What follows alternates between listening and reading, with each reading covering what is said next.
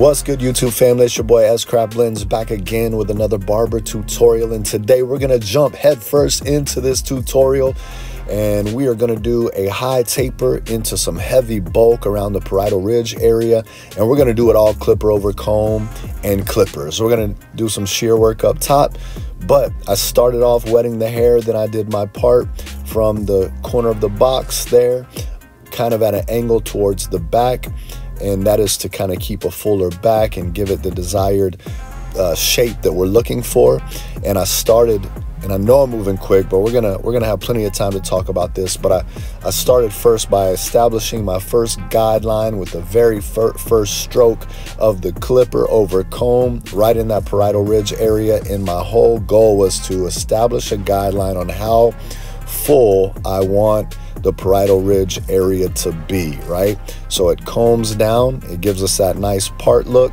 and all that is combed down. That's where I establish my guideline to see this is where I want the blend to blend into. We don't want to go any shorter than that first guideline that I established.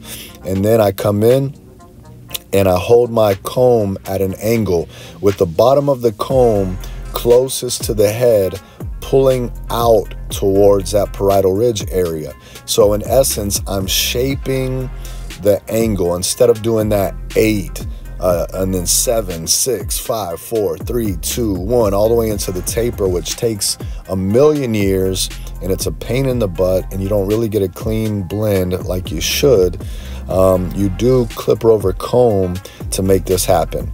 And whenever I was getting ready to cut her hair, I had uh, Juan he came all the way from Orlando and he was hanging out just doing some you know just just watching me cut and hanging out you know at the shop doing some shadowing. And uh and as he was doing that he said you're just gonna do clipper over comb no guards on this? And I was like yeah let's do it. So uh, I just went ahead and, and decided to do that. But there again, I'm going to show you some different angles so that you can see what I'm doing better. And I skipped the taper on that side simply because I want you guys, uh, you know, I wanted to save time in the video. And as you've seen, whenever uh, you can see the angle that I created by just the way I held my comb on that side there that I already cut, just like that. So I want it to be closer at the bottom. So I put the comb up against the head at the bottom where I know that I'm going to be blending into right there.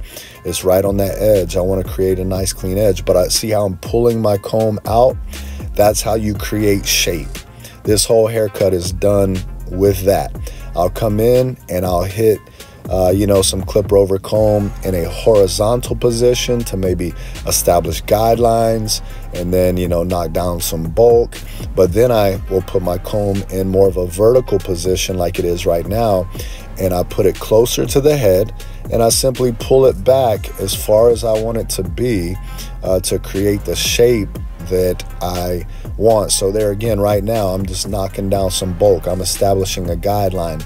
And now in order to really now that I've done my vertical strokes uh, now you know as far as with the comb and and the clipper. Now I have my comb more horizontally but I was doing some vertical strokes like right here because it gives me more control. And the whole point of this is your comb is your guard right? So I have to be the one to judge how far that comb is away from the head, just like a guard would determine how far the, the clipper is from the head. So now that I've kind of established a guideline and kind of knocked down that bulk and created the shape that I wanted, now I can come in at the bottom, being I had the comb, the, the, the tip of the comb when it was facing down, whenever I had it had it uh guys this is this is hard to explain man. Clipper over comb is so hard to explain. Um, but like right here see where i have the, the the bottom of the comb? It's all the way up against the skin. And that gives me a tight cut at the bottom a blend right? It's giving me that that graduation that taper. And being i had the comb so close to the head at the bottom then i could go in with the clippers at the bottom and set that uh, first guideline of the taper in the bottom with just an open blade. And then once I kind of got towards the, the top of that open blade guideline I established, I kind of just flicked out a little bit um, just so that way I know I have a little bit of room with my comb to get in there real tight to the head and, and start blending with clipper over comb. If that makes sense. Guys, my mind is fried right now trying to figure out how to explain this, but we're going to get through it and I think you'll really like it. So let's just try to focus on the details as they come. So right now, once again, I have the clipper all the way open, no guards on this whole cut. And I'm just flicking at that line and making sure everything under the guideline we establish is uh, smooth with that open. And then we'll, we'll blend all that out in just a moment. But see, now I'm using that clip over comb. Once again, the bottom of that comb, the thick portion, is tighter to the head, and I'm pulling the the the teeth of the comb towards me, putting it in the shape that I want the hair to go. Then I come in with there again, just flicking at that line, trying to knock some of that bulk down, and I'll clean it up with, you know, some shears and just a little bit as well. But as you can see, I'm using a lot of the corners of the blade, and you seen a minute ago I was using the teeth of the blade just just the corner mainly and just kind of you know like chipping away at some of that heavy spot. That's more of a thinning shear action that you can use to really thin this thing out um, but yeah just coming in with the corner of the blade just tapping away softening up uh, you know that guideline that we have. Now as you can see right on the occipital bone area there's a nice dark spot because under that thicker hair, she has a nice pronounced uh, occipital bone which creates a darker spot. It creates a shadow. So I'll come in and kind of chip at that with the uh, corner of an open blade here in just a moment. I'll, I'll also hit it more with the uh, with with the clipper over comb but then I can come in with the shear over comb and even blending shear over comb and, and kind of soften that hard line up as well so as you know just like you would do any taper in a fade down technique once I establish that guideline with the hat with the the no guard open then I just slowly started working my way down closing the blade little by little until I was at uh, just the the bald where I wanted the bald line to be, where I wanted the fade to end. And then I grab my trimmers and I just come in and clean up that bottom. Now that I did a lot of the prep work, I can come back in, sharpen up those lines just like you would with a, a guard first, and then hit the line up to give it a nice crispy line. I did all that with uh, clipper over comb or uh, a thinning shear over a small comb and whenever I get in those really tight areas, you see that I've been using the big comb, but whenever I get in the tighter areas like around the ear, uh, close to the line where I want to put a, a, a edge, then I'll go ahead and use a smaller comb with real, really, you know, tight teeth, with a lot of teeth, so it it grabs the hair better and puts more tension on it and then I can use my trimmers to do that. So once I've kind of established a, a decent blend with clipper over comb, then I come in with shear over comb, which gives me a little bit more control.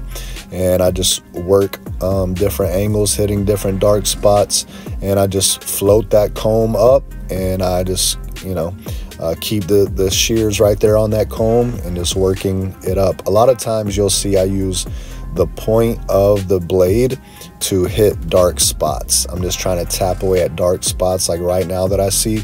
But whenever I'm trying to, you know, really smooth that blend out in a heavier area, then you'll see I'll line up my shears on uh, the comb and, and do more, more of a broad, you know, uh, stroke on, on that. But right now I'm just trying to really do detail work and what you know I'll hit the detail work and then I'll kind of swipe up and do a little bit uh, more bulk knocking off and there again because there's a nice heavy dark spot right in that uh, occipital bone area uh, I'm taking a little more time to, to knock some of that down and then as I knock it down I'll see little spots and I'll come in and hit that with the tip of my shears I'll come back and do more detail work. But here again, we're setting in the parietal ridge area. I'm holding it out at the length I want that area to be. And I have my comb facing horizontally and my strokes are horizontal just to really give it a nice clean uh, cut all the way through. Now I'm tilting my comb where the spine of my comb is closer to the head and the teeth of the comb is farther away from the head. So there again, I can create that shape. And as I work my way down, I get closer and closer to the head. Now that I established kind of that guideline, then I, I love to hold my comb in this angle because I can hold it at whatever angle I want and just go straight up the comb and knock out a whole bunch of hair in the shape that I want it, right? So when I get towards the bottom, right where I'm at right now, uh, where it's closer to the head, and that's where I'm going to be giving my my uh, lineup. I, I, take a little bit more time and make sure I touch that really, really gently, uh, and to make sure we get a nice smooth cut. See, I wanted you guys to see from that angle when I was doing the back so you can see how I hold my my comb and, and how much hair is coming out and then I'm cutting off. Now because I know I'm doing a high taper and that taper is going to come back at that angle that I'm working at, I'm holding my comb in that angle. And some of you guys are like, I have no clue what you're saying. I just wish you could get in my brain, but I'm doing the best I can to explain this. Without guards and all that, it's hard. And I know some people would say, why don't you use a white comb so we can actually see the hair when you're cutting it off and what length you're doing? Because I can't use white combs, it messes with my eyes too much. I have very sensitive eyes. Guys, sensitive eyes. And uh, I have to use black combs. And except for that hot pink or a red one, but the white ones tend to blind me and I can't even see what I'm doing when I'm looking at a white comb. So I use darker combs. But anyways, so right here because I want more control in that tight blend area. I'm using a tight teeth comb and there again and over the ear and right where I'm going to be edging up. I'm holding that at an angle. So at the right at the the top of her ear, I want that comb tied up against the head. But but towards the top of her head, I want that comb farther away from it. So when I cut up the comb, I'm actually creating the shape that I want. And as you can see with the taper, uh, we just went in and I, once I created everything with clipper over comb, I just opened up my, my blade and I just, you know, flicked into there, creating uh, that blend and then I'm just touching it up with the corners of the blade. And and once I created um, you know the the guideline with the blade open I just shut it halfway and I'll tap at it. And then I shut it all the way and I tap at it. And this side I realized was a little lower than I wanted it to be in the taper area. And that's one of the, the things if you're setting a guideline from the bottom and working your way up you can set that bald guideline and then taper up. This is more of a fade down technique. I found it just works really uh, easy when I'm doing clipper over comb like this, being I'm already moving from the top down. so, uh, you know, I had to adjust that taper a little bit, but I'll come back in with thinning shear over comb and I'll go around the head and do all the details. I may or may not show you. I'm not sure. But now that we got, you know, the length the desired length that we wanted over the ears and by the back of the neck. Now we can come in and clean it up with our, our trimmers. Look at the shape in the back there. All that was done with clipper over comb. If you look from the front down the side, it has that same shape, tight at the bottom, and it just slowly blends uh, to thicker at the top. And, you know, whenever you create your parts, you comb that down, how you want it and you set that guideline, you just, you know, taper right into it with clipper over comb. Makes life so much easier. This haircut goes so much quicker, especially not using any guards. I can just open up my blade and flick right into that. Um, something you could try.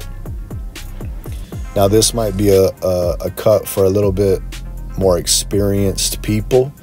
Um, many people need guards and they need to work with guards but i challenge you to man really work with clipper over comb because it will help cut down a lot of time a lot of time juan was sitting there watching me uh, juan from orlando he was sitting there watching me and he was just like dude that is ridiculous and it just saves so much time, you know. And then I can come in once I got the shape and I put a basic taper on there. I could just come in, you know, with my shear over comb and now with my thinning shears to soften that, you know, that blend up, hit any little spots that I need to hit. And I can just come in with that all the way around the head, touching up little things. Um, you know, if I see little areas, you know, like right there over my hand, over my left hand, there was a little side where you can see that it was kind of sticking out a little bit. I'll knock that off right here with the the my shear work. Now, once I created my parts uh, and combed everything down, and there again, whenever I create a part for this particular type of haircut, I like to start from that corner of the front box on the, the front lineup. And I like to bring it back kind of at an angle, more of like a, not a V shape, but it kind of U's in the back. You can see how my part is in the back there. And then I just pull that hair down and I just go ahead and hit it with my shears into the length that I established with uh, clipper over comb. Pretty simple. So this was a, a pretty quick haircut even considering that I was recording. I was talking to Juan. I was kind of sharing some pointers with him. Juan came from Orlando to Shadow.